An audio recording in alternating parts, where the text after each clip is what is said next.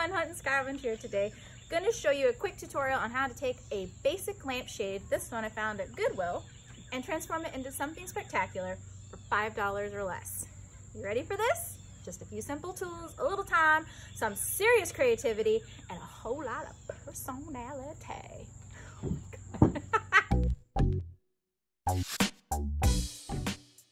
For this project, you'll need an acrylic paint of your choosing and a matte finish. Any color will do. A paintbrush of your choosing, an eighth of a teaspoon of water, give or take depending on the consistency. If you prefer it to be more textural, omit the water altogether.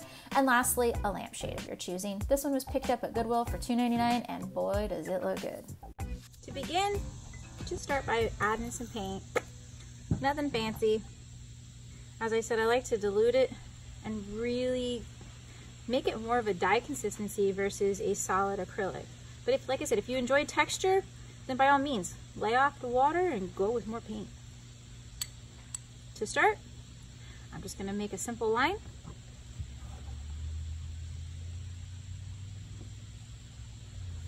And I enjoy that sort of rough effect on the end.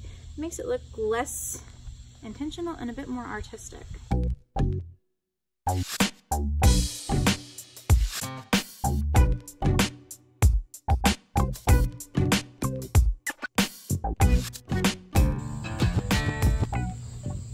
And as you come into the home stretch here, as I said, creative license is key, and just enjoy it. I made a bit of a mistake down here, but as I often say with an art, mistakes often make it the best. Makes it look more original, more imperfected, more imperfected, and authentic.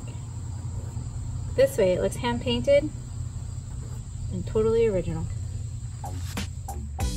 For less than five bucks, this Goodwill lampshade has a whole new lease on life. Reduce, reuse, recycle, redecorate.